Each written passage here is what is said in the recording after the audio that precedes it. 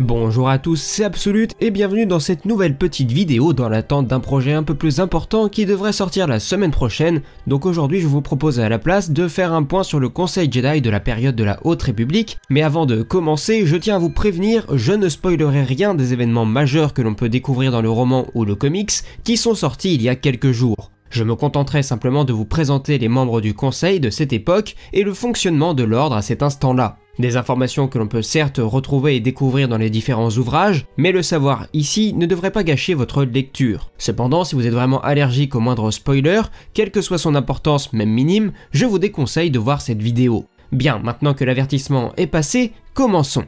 Tout d'abord, nous avons Jorah Mali, qui est une maître Jedi Togruta. Ah oui d'ailleurs, tiens, je tiens à m'excuser dès à présent, mais comme vous pouvez vous en douter, il y a très peu d'illustrations de disponibles pour l'instant. Mais bref, celle-ci avait pu entraîner deux apprentis, Des Ridan et Ritstilas, qui est encore son apprenti au moment des événements que nous découvrons dans les livres.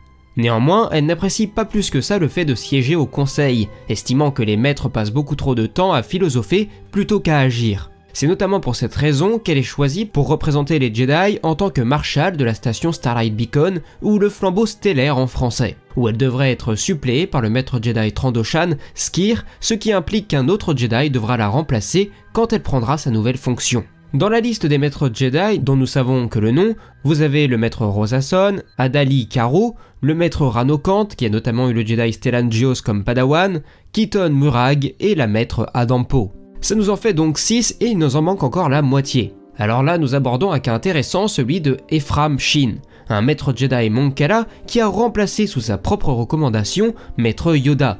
Et oui, car lui il est en congé au moment où les maîtres se réunissent pour participer à un vote et qui par là même s'occupe également comme dans l'épisode 2 de l'éducation de toute une classe de jeunes initiés.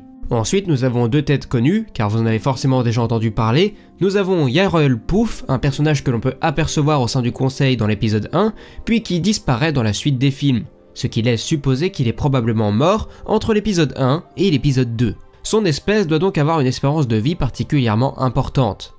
Mais vous allez voir que ce n'est pas le seul, car il est aussi accompagné du maître Oppo 6 qui lui de son côté a apparemment survécu à l'ordre 66, et est donc possiblement toujours vivant au moment de la trilogie, voire peut-être même de la postlogie, soyons fous. Et la nouvelle surprise, viennent ensuite les trois grands maîtres de l'ordre. Et oui, j'ai bien dit trois, contrairement à la prélogie, ici il y a trois grands maîtres qui siègent au sein du Haut Conseil. Ceux-ci sont nommés Larou, Véter, que l'on peut voir en compagnie de Yoda durant la cérémonie d'ouverture du flambeau stellaire, et bien sûr, comme vous l'aurez deviné, le troisième est sans aucune surprise Yoda, qui a donc installé son siège au sein de la plus haute tour du temple depuis bien longtemps. La question sera donc de découvrir comment ou pourquoi la règle a-t-elle changé et pourquoi l'ordre est passé de trois grands maîtres à un seul. Est-ce qu'il y a eu un changement de règle Ou est-ce que c'est simplement que les deux autres sont décédés entre les films et la Haute République? Peut-être que le grand maître n'est pas élu finalement mais c'est seulement un grade qui s'acquiert après une certaine expérience. Nous n'en savons rien. Mais nous aurons possiblement l'occasion de le découvrir dans les prochaines œuvres qui traiteront de cette période. Alors si vous avez bien compté, nous en sommes à 11, enfin 10 si on enlève le remplaçant de Yoda ce qui signifie qu'il nous en manque encore deux. Alors ils existent bel et bien, mais nous ignorons encore leur nom. Maintenant, ce que j'aimerais voir avec vous, c'est le fonctionnement de l'ordre et ce qui peut différer par rapport au film. Alors le premier point et celui qui est probablement le plus intéressant, c'est d'étudier le rapport que peuvent entretenir les Jedi avec les politiciens ou avec les militaires. Pour le premier point, on va notamment pouvoir étudier la relation qu'entretient la chancelière de l'époque avec les Jedi. Déjà, ce n'est pas comme dans la prélogie où Palpatine agit très étroitement avec l'ordre Jedi. Ici, la chancelière va consulter les maîtres et requérir leur aide.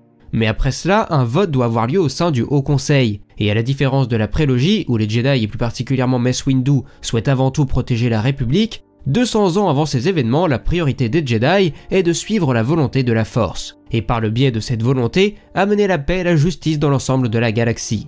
Mais ça ne veut pas dire qu'ils sont liés aux actions de la République pour autant. Bref, tout cela signifie donc que les Jedi sont beaucoup moins interventionnistes vis-à-vis des actions que peut entreprendre la République.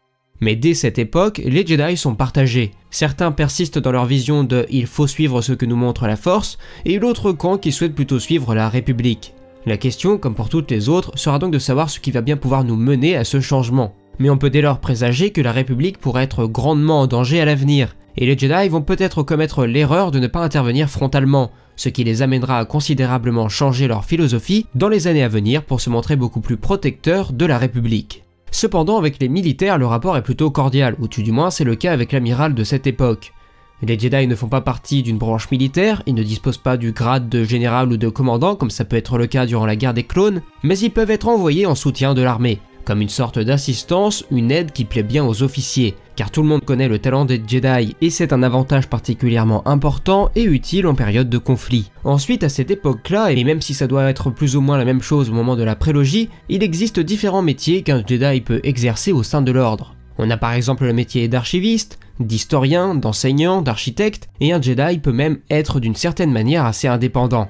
Nous avons par exemple le cas du maître Jedi Porter Engel, qui du haut de ses 300 ans a pu tester toutes les sortes de métiers que propose le temple, avant d'accepter de se rendre dans un avant-poste Jedi de la bordure extérieure, car oui, c'est au cours de cette période d'expansion et d'ouverture phénoménale pour la République que les Jedi ont commencé à construire des avant-postes respectant les cultures locales sur de nombreuses planètes comme Elfrona, ce qu'on avait d'ailleurs déjà pu voir dans le comics L'ascension de Kylo Ren, mais aussi sur Kashyyyk, Monkala ou bien encore Lothal comme on avait pu le découvrir dans Star Wars Rebels. Enfin, avant de conclure, j'aurai un dernier petit mot à vous transmettre sur les sabres laser. Là où la prélogie nous cantonnait au vert et au bleu et exceptionnellement au violet suite au souhait de Samuel L. Jackson, ici c'est la fête. Du bleu, du vert, du blanc, du doré, de l'orange, du violet, bref, il y a de tout et ça c'est bien.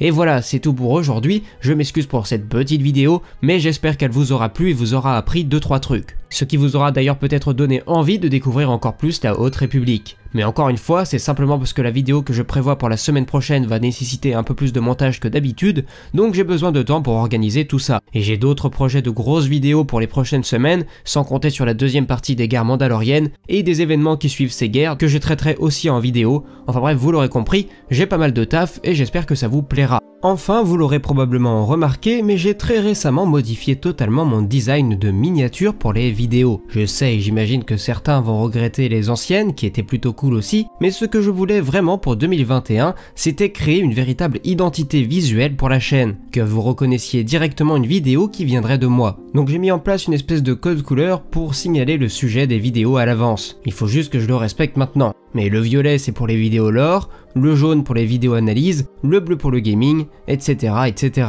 L'objectif étant toujours d'essayer de se démarquer et d'attirer le regard parmi la centaine de vidéos que vous pouvez voir passer tous les jours. Donc voilà, j'avais un peu peur au départ mais finalement je les trouve plutôt sympas et j'espère que vous aussi vous les apprécierez. Si la vidéo vous a plu, vous pouvez la liker, vous abonner ou soutenir la chaîne sur YouTube, Twitch ou même YouTube. Je remercie d'ailleurs grandement toutes les personnes qui ont fait le choix de me soutenir. Vous êtes toujours plus nombreux et ça, ça me fait super plaisir. Vous pouvez également me suivre sur les réseaux sociaux, Instagram et Twitter. Et enfin moi il ne me reste plus qu'à vous dire à la prochaine, c'était Absolute et que la force soit avec vous. Ciao